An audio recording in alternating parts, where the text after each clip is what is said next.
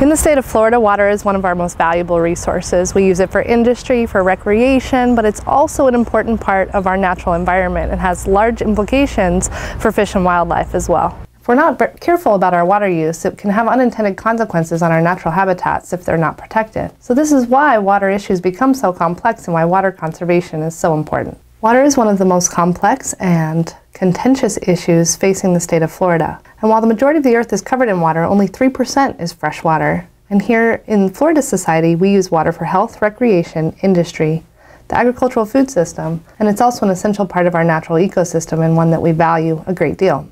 One of the reasons why water is so contentious is because over the next 20 years, public water supply demands are projected to grow by almost 29%.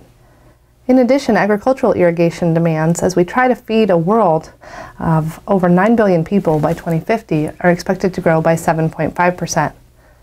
Some of the ways that Floridians can support water conservation and engage in water conservation behaviors include voting to support water conservation programs, supporting water restrictions issued by your local government, including reducing the number of times you water your lawn per week, having a water irrigation system timer set as well as ensuring that your irrigation system does not run when rain is projected in the forecast or when it's raining outside.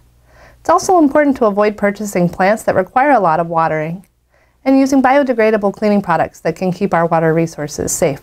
Other ways to engage in water conservation behaviors include things you can do inside the home, like turning off the water while you're brushing your teeth or showering for no more than five minutes each time you bathe.